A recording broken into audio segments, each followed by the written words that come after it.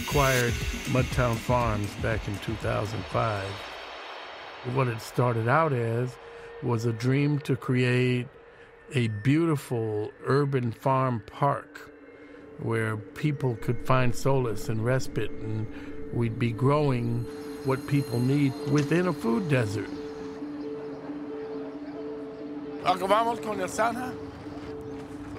Okay, let's go check it out. The reason that Mudtown Farms is so important to me is because when I agreed to take this job 22 years ago, it was with the determination that I was going to extend my father's legacy. When WLCAC started in 1965, one of the first things that he did, he started growing food. Mudtown Farms became alive in my mind that here's an opportunity to extend that part of the legacy. Mudtown promises to be one of our greatest achievements, and at the same time, one of our most worrisome undertakings. The project has been plagued with cost overruns, time delays. There's a lot of work to getting it complete. When we have the grand opening, we hope that the neighborhood will come and they'll see a beautiful, safe space that has a sort of spiritual veil over it. Like nothing happens in that space but peace. Can't give me enough money, can't give me enough of anything else but fulfillment, knowing that I've actually made a difference, but also as an extension of my father's work of the work of WLCAC that it becomes part of our shared legacies.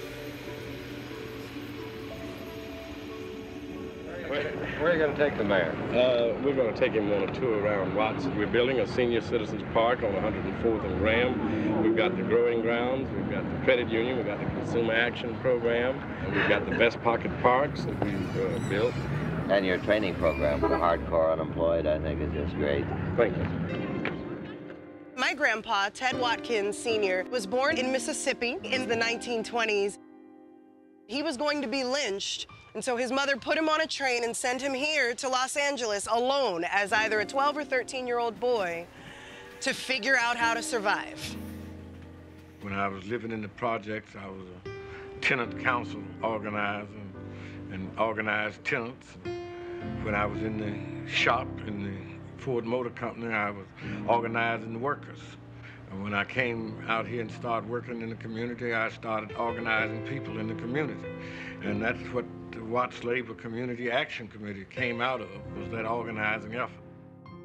He was instrumental in not only building the local county hospital here, but in helping to have the 105 freeway built the individual single family homes he's built here, the generational wealth that creates. It's just farther reaching than I think I can wrap my mind around. All of my peers, doctors, lawyers, and merchant chiefs felt that we were crazy to buy land in this decrepit and rundown community. In about seven years, we were putting houses on that land. He passed away when I was about 13 years old. I have fond memories of his character, his spirit. He was a very imposing figure. Of course, I can't profess to know exactly what compelled him to build the way that he did, but the more I learn, the more it seems like he was building a family.